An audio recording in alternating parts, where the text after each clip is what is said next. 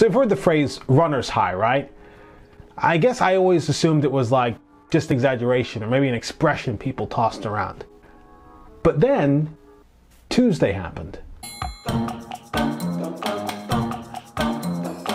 Week two of a half marathon program is not supposed to be all that earth shattering, but it took just one day of that week to change my whole perspective on running. Tuesday was the first run of week two, and the first time in weeks I've done anything that was beyond just an easy run.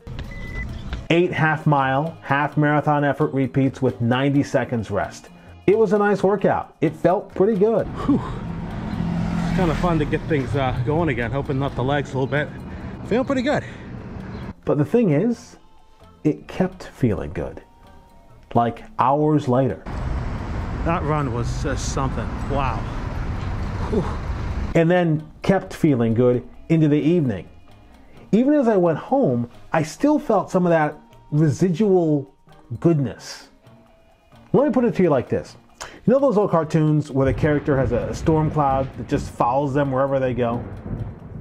Well, this was the opposite. Like a, a happy cloud, just giving me a, a hug all day.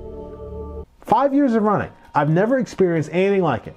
It was honestly pretty amazing. And I share that not to brag about it or anything, but more so to say that the run I had on Tuesday could be waiting for you right now. So if you needed some motivation to get out the door, there you go. All right, quickly to the rest of the week. Easy pace was the name of the game, though I did have to skip one run after tweaking my knee a bit.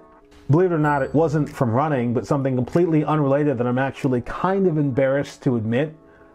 Uh, you know, jumping up a stair. Why, I don't know. Like, why does an adult jump up a stair like? Like, why was I jumping up? Why was I leaping up a stair? Like, that doesn't make any sense.